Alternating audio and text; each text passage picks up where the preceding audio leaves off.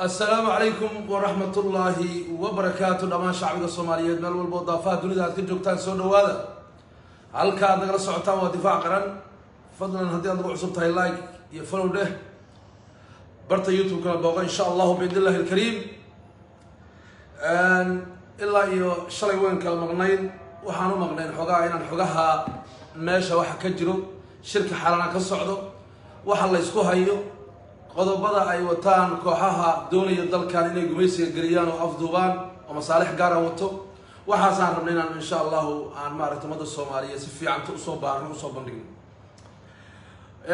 Waxaan ku bilaabayaa horta soomaali ilaahay ha u naxariisto. Wax badan baan horta annaga aan ka digaynay.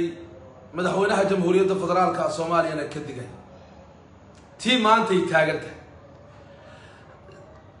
madaxweynaha afar sano iyo siddeed bilood dalkan wuxuu ka ilaaliyey in dalkan gacanta uu u galo safiiro missionary ah caloosho u shaqaystayaal ah. Dalka raba inay indirecti ah si indirecti u gumaystaan buu horta madaxweynaha ka ilaalinaya laakiin maantay gacanta u gashay. Waxaan rabaa bal inaan dib u binacsanno wadahadaladii lagu doonayo doorashada dalka ilaa dhuusamareeb one dhuusamareeb two soo soco xamar imow madaxweynaha waa ka ilaaliyay annaga soomaaliya annagaa xalisanayn annaga soomaaliya annagaa waxayna dhamaysanayn dal madax bannaan oo xoraana maanta marka meel daleel daleel ah oo cidlo ah oo ay cidna ka hor taagnayn bay maanta heleen horta. Waxaan rabaa kuwa annaga inaga soo horjeeday afkaarta inagaga soo horjeedo oo kuwan taageersan dhahaya annaga qabiilkeeni qabiilkaagii ma james iswan buu noqday qabiilkaagii ma beesha caalamkuu noqday? Qabiilkaagii ma beesha caalamkuu noqday? Qabiilkaagii ma wuxuu noqday habartan foster iyo naagtan amerikaanka? Qabiilkaagii ma wuxuu noqday beel caalam. Awa qabiilkaad wax u raadinaysay awey reer habelnimadaada wax u raadinaysa nasiib darro wey marka taas. Intaas ayagaan leeya waxaan rabaa maxay tahay qodobadii ilaa shalay la ysku mari waayey oo labada daraf markaa ku dhahayo labada daraf waxaa weeye shirka waxaa wada socday rooble iyo madoobe iyo deni qoorqoor iyo lafta gareen iyo guudlaawe iyo cumar firishna ayaguna waa socdeen oo dad waxay ahaayeen ku dhegan mabaadi'dii seventeen of september heshiiskii lagu heshiiyey ee baarlamanka la geeyey ee la ansixiyey saaxiibadaana waxay is yidhaahdeen ayaga iyo mike briden iyo sahm group iyo dowlado kale oo habartan ingiriiska iyo maraykanka iyo waxaana iswatana waxay rabeen in heshiiskii seventeen september la dhex galo. Waa la soo fadhiistay waxay yidhahdeen maanta annagu waxaan wadanaa ajandihii maadaama ay boosaaso xabadi ka socoto maadaama axmed madoobe garbahaan ay tegi karin maadaama cali guudlaaw uusan beledweyne tegi karin waxaan rabnaa doorashadii in wax kabedel lagu sameeyo laguna soo koobo hal deegaan doorasho. La yskama waalin waa loo dejiyey banooniga. Ma saasaad rabtaan? Haa. Ma intaasaa la soo jiranayseen? Haa. Oo yaa intaa intaa yaa isla og oo oo raalli ka ah wato ra'iisul wasaarahana waa nagula socda axmed madooba soo booday ra'iisul wasaarahani. Waa nala wataa. Nimankii odayaasha waxay yidhaahdeen horta waxaan anagu maanta meeshan u fadhinaa oo aan fulinteedii wadnaa heshiis ay dowladda federaalka soomaaliya iyo maamul goboleedyada gaareen. Qodobteediin qodobteedii oo baarlamanka jamhuuriyadda federaalka soomaaliya la horgeeyey la ansixiyey sharci ah. Haddii wax kabedel lagu samaynayo sooma wanaagsanayn in baarlamankii dib loogu celiyo. Waa ogol lahay anagu diidi mayne sharcigii bal baarlamankii dib ha loo waco oo ninkii la mursal inta loo waco dib ha loogu noqdo. Axmed madoobe jiq bay ku tiri. Saciiddani jiq bay ku tiri. Roobla jiq bay ku tiri. Roobla soo boodo wuxuu yidhi annaga kuma jirno baarlaman hanagu yeelina maxaa ka wadaa baa lagu yidhi baarlaman? Soo annaga sharcigan meesha adig wixii yaa ku soo ansixiyo ra'iisul wasaare kaa dhiga baarlaman. Sharcigan meesha u fadhina maxaa weeye baarlaman wuxuu soo ansixiyaan u fadhinaa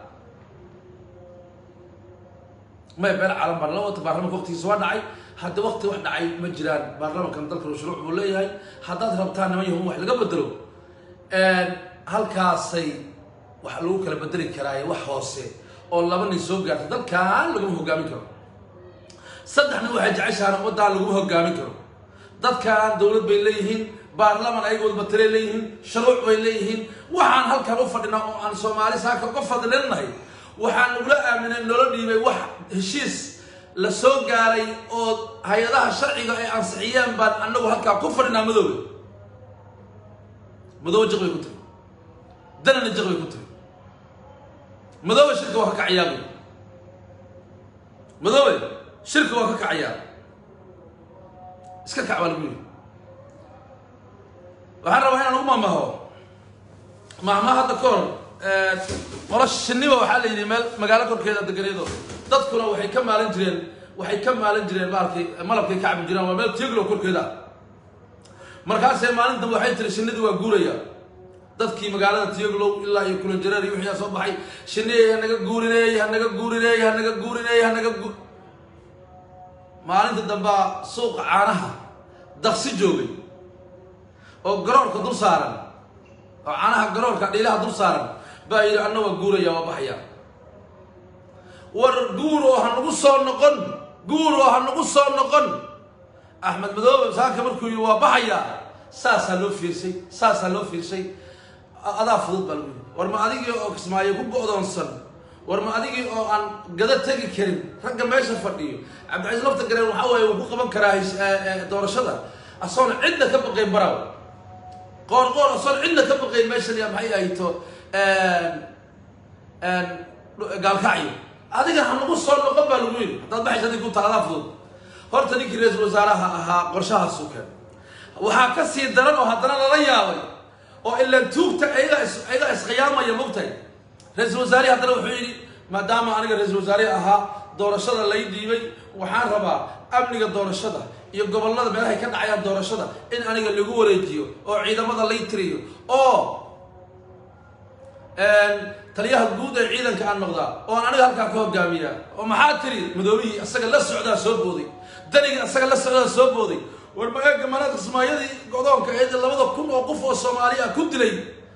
Labada kun oo qof oo soomaaliya ku dilay baad rabtaa inaad igu soo farageliso xashasha ka diiday oo aan farmaajo ka diiday oo aan sheekh shariif ka diiday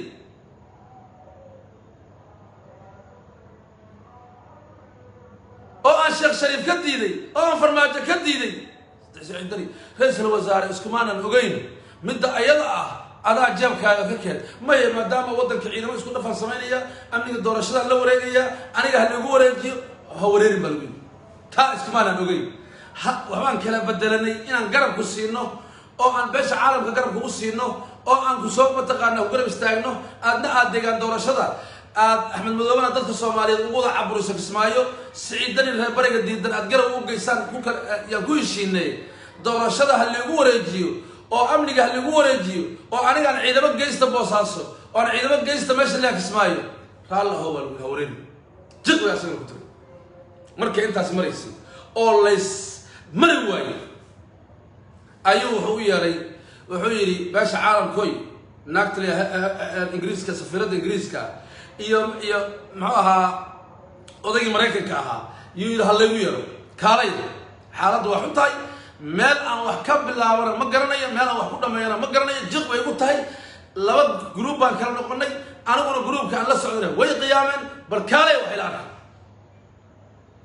war ma saas ahaa. Odayga james suare wuxuu yidhi ma soomaali aan ka go'doonsanaa intii aan joogay ee aan soo faragelin waayey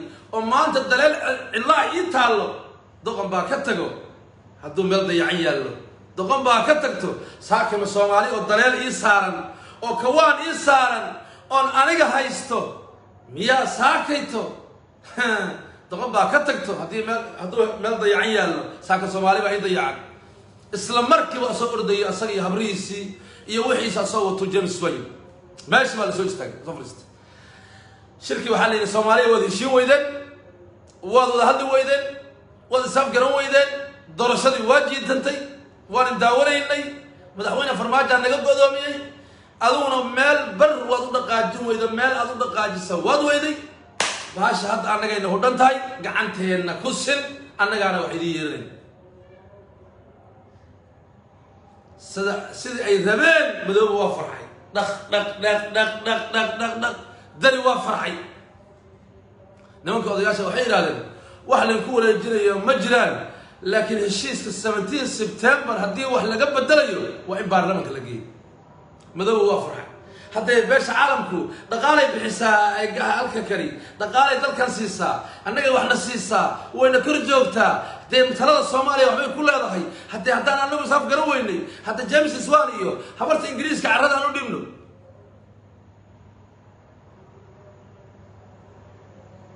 halkaasay horta baasha gacanta caawa.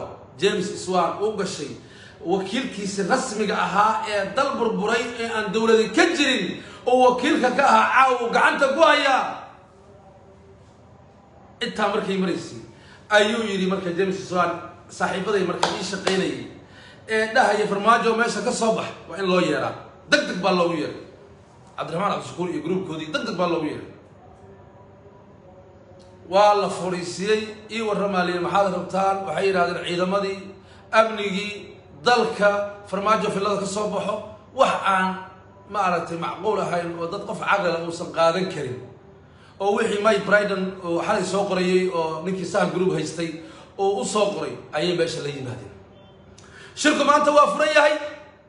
Dalku gacanta wuxuu u galay gumayste indirecti ah soomaaliya ninka ku farxay ninka ku farxaya ninka ka naxaya asagay u taallaa gacanta rooble wuxuu u geliyey dhaqaalana dhaafsaday gacanta dowladnimada soomaaliyeed iyo xorriyaddii iyo sharafkii iyo karaamadii iyo dowladnimadii intaa la dhadhoobay oo la ilaalinayo cadowga laga ilaalinayo wuxuu gacanta u geliyey qoladii wakiiladii mishinariga ahaa ee xaalana deganaa wuu gacanta u geliyey wax alla waxay soo yeeriyaan baana lagu dhaqmaya soomaali marka meel cidla ahaan ku dagaalamaynay adiguna cidlaa ku dagaalamayseen. In adeerkii waxuu helay ma lahan. Qabiilkii kii rooble ku dagaalamayo rooble hadda in adeerkaa james swan oo dalka lagu wareejiyey qabiilkaaga oo guulaysta ma ah. Habartan ingiriiska oo dalka lagu wareejiyey qabiilkaaga oo guulaystay iyo musharaxaaga oo guulaystay ma aha. Dalkii wuxuu gacanta u galay sahan group iyo qoladii la ohan jiray xalano deganayd ee mishinariga ahayd ee dalkan dhibaatada wadda soomaaliyeed ku ahayd ee macaadiinta guranaysay ee keliyaha dadka kala baxaysay ee organada guranaysay ee dadka dilaysay ayuu gacanta u galay. Marka macnaheedu ma aha inuu qabiilkaaga guulaystay. Inaad kaad rabtay iyo masaalixda iyo ururka aad rabtay iyo gruubka aad rabtay oo guulaystay. Macnaheedu ma aha. Macnaheedu waxaa weeye dalka gumaysi buu galay. Saakii soomaaliya dib u xorayn bay u baahan tahay.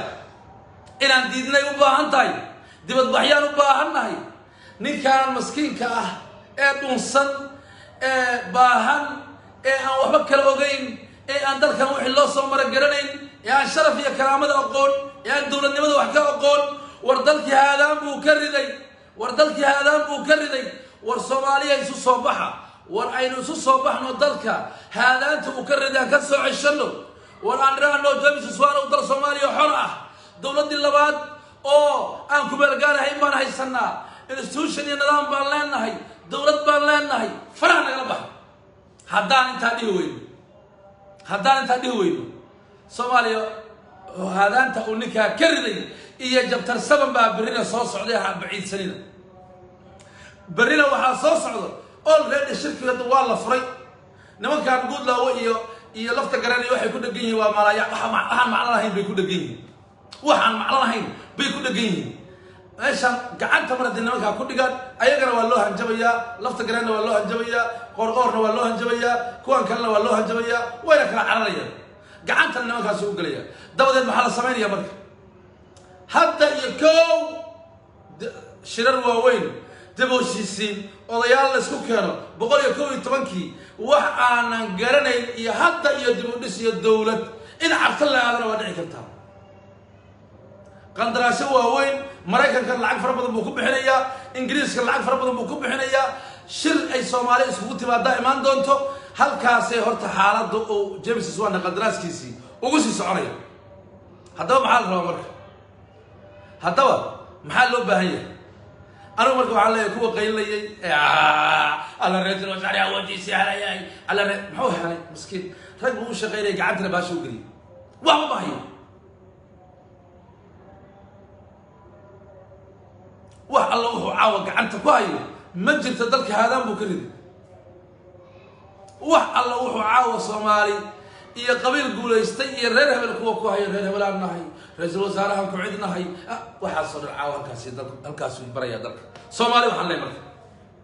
Soomaali waxaan leeyahay waxaan u baahannahay banaanbaxyo waaweyn oo looga soo horjeedo reer galbeedka ee xalalo degan ee dalkeennii indaarigtii gumaysiga u gelinaya inaan kaga aan mataqaana aan samayno isu soo baxno gobolladow soo baxa soomaaliyay kaca soomaaliyay kaca. Haddii kale haddii kale maanta maalin aan ahayn baan iswaraysan doonaa. Maanta maalin aan ahayn ayaynu iswaraysan doonaa. Hadda ma aha. Annagu sida looga soo ceeyana waa garanaynaa kuwa gacantooda. Sida loola dagaalamana waa garanaynaa sida layskaga dhiciyana waa garanaynaa. Inaan dalka leenahayna waa aaminsannahay waxaa marka waxaan leeyahay adigu waxaad u ordaysa hebel waa ninba wax laga hayaa. Waa waxaad u ordaysa xeerada salkeedii ma aha. War kuwii qaylinaya ee ordayo soo gumaysta dalka aan gelino. War soomaaliya waa xor. War gumaysaana gelina war dal madax bannaan baan nahay war jooga war jooga war jooga. Soo maydaan diidin. Maanta maxaa maraynaa marka in dalka gumaysto galay.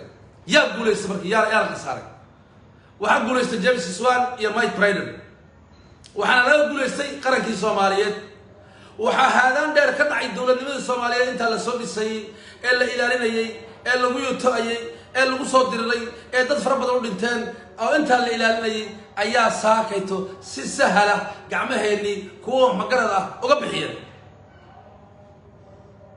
Laakiin annagu haddaan nahay xogaga soomaaliyeed ee waddankooda jecel iyo difaac qaran ahaan waxaan u diyaar garoobaynaa inaan ka difaacno mike briden dalkeena inaan ka difaacno james swan dalkeena inaan ka difaacno habarta fosterlia dalkeena inaan ka difaacno kenya dalkeena.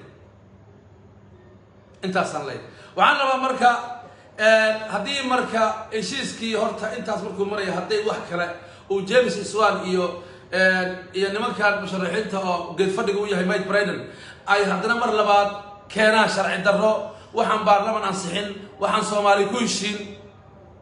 Haddee nin walba oo geedku gaarayo goos nin walba meeshuu geedku gaaro miraha ka goosto nin nin uu dowladayn karo nin nin u waxayn karo waxaan wax soomaali ku heshiisay la yabyabay la isku soo dhaweeyey ayay aan haysanaa.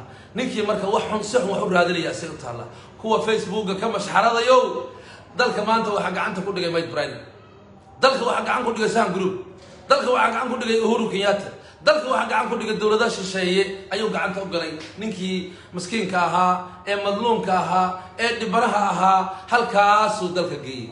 Labadan jaajuus ee midna kismaayo kenyaanka ku haysto midna gacan ku dhiglaha shacbiga soomaaliyeed boosaasa ku laayay ayagu waxba kama naafilay laakiin nimankii soomaali ay u hanweyneyd ee maamulada soomaaliyeed ahaa ayaguna saakayto inay ogolaadaan inay ogolaadaan waxaasi waxaan filayna ma aha.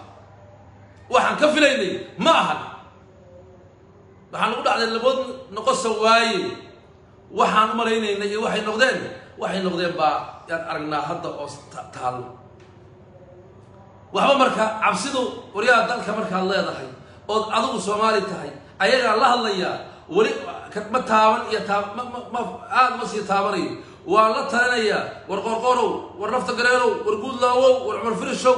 Soomaalidu waxay tiraa lihi libaxkaada war nima soomaaliyaa tihi war dalka adinkaa iskale war jaajuus jawaasiistan war axmed madoobe cid keensatay ma lahan war axmed madoobe shalay al-shabaab buu ahaa war maanta waa jaajuus kenyaan ah war cid wadata ma leh war cid dooratay ma leh war magaalo dadkeediina la laayay ummadda deganeedna ka xasuuqay ka barakiciyey taangiyaal kenyaana ku hareereeyey war ninkaa gacan ku-dhiglaha masaajidada ku laayay ee imaaraadka u shaqeeya jaajuuska dhabal ajensiga ee kenyaanka ummadda soomaaliyeed iyo gaalada ay wataan iyo ninkan maraanka ah ee madluumka ah ee maskiinka ah ee ra'iisul wasaare kusheega war ummadda ha u gacmo qabanina. War ummadda ha u gacmo qabanina. War waxaan leeyahay waxaan maqlaynaa habarta ingiriiska waa idin hanjabaysaa. War james swan waa idin hanjabayaa war waa lin digdig leeyahay. War soomaali baad xukuntaan oo maamulaad xukuntaan. War wakiilaad tihiin soomaaliyeed. War waxaad dowlad goboleedyaada hoggaano u tihiin. War qabiil hoggaan uma tihiin. War taladaan siinayna wey haddii aadse u nuglaataan haddii aad u nuglaataan dhagaraha cadowga iyo waxay rabaan adinku kuwii shariif sakiin meeshuu maraa lafta gareenoo maraysaa qoorqoorow meesha ow cabdiraxmaan naga maray soomaaliya halkuu ka taagayaad ka istaagaysaa kuwa kale meeshay naga istaagan yihiin jawaasiistaad naga istaagaysaan? Annaguna hangaraanax laguma dhogtay soomaali baa ka weyn. Soomaali baa ka weyn. Waan arkaynaa ha u nuglaanina hanjabaadaha shisheeye. Nin boorso wato oo dalkaagii marti ku ah iyo ku hanjabin. Yuu ku hanjabin dalkaadaa iskale wakiil baa tahay malaayiin soomaaliyeed baad wakiil ka tahay.